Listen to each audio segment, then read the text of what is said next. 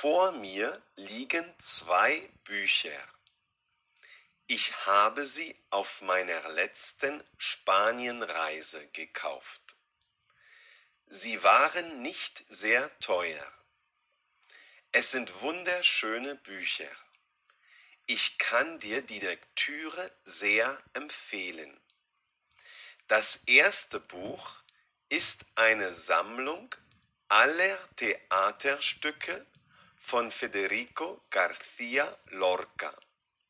Ich habe bereits das erste Theaterstück gelesen. Das zweite Buch ist ein Gedichtband von Pedro Salinas. Ich bin beeindruckt, wie er es schafft, Gefühle in Worte zu fassen.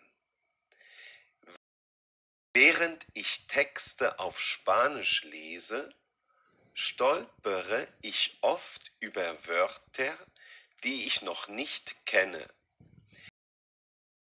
Diese Wörter schlage ich im Wörterbuch nach.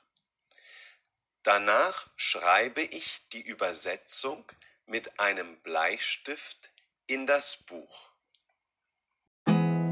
There's not much to do when all I can is thinking about you.